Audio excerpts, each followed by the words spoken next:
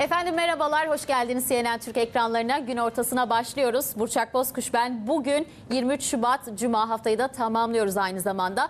Başlıklarımıza baktık hemen başlayalım. İlk milli uçuşunu tamamlayan savaş uçağı Kaan Aselsan'ın geliştirdiği teknolojilerle Bilge Kaan olacak. Aselsan Genel Müdürü Ahmet Akyol, Aselsan'ın misyonunun Kaan'ı Bilge Kaan yapmak olduğunu vurguladı. Çelik kanatlar, Türk mühendisliğinin rüzgarı ve oyun değiştiren teknolojilerle en yükseklere ulaşacak dedi.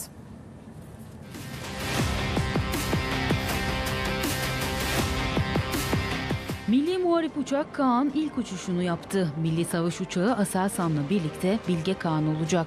Aselsan Genel Müdürü Ahmet Akyol, geliştirdikleri teknolojilerle Milli Muharip Uçak Kaan'ı Bilge Kaan yapacaklarını belirtti.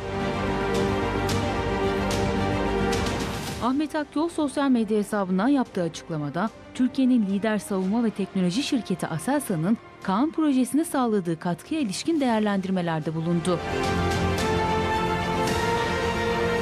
Aselsan'ın misyonunun Kaan'ı Bilge Kaan yapmak olduğunu vurgulayan Akyol, çelik kanatlar, Türk mühendisliğinin rüzgarı ve oyun değiştiren teknolojilerle en yükseklere ulaşacak dedi.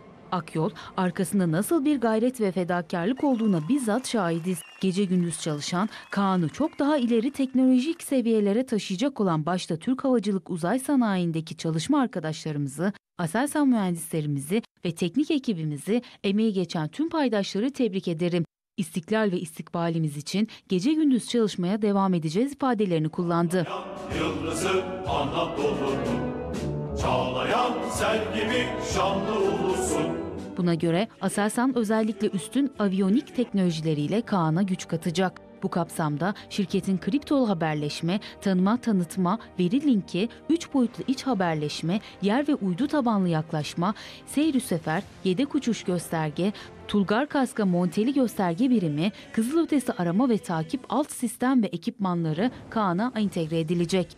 Ayrıca bütünleşik elektrooptik hedefleme, kızılötesi füze ikaz ve görüntüleme, lazer ikaz, yönlendirilmiş kızılötesi karşı tedbir, güdümlü kitleri, uçuş kontrol sistemi sensörleri, entegre elektronik harp, karşı tedbir atma gibi Aselsan alt sistem ve ekipmanları Kaan'ın etkin şekilde görev yapmasına katkı sağlayacak.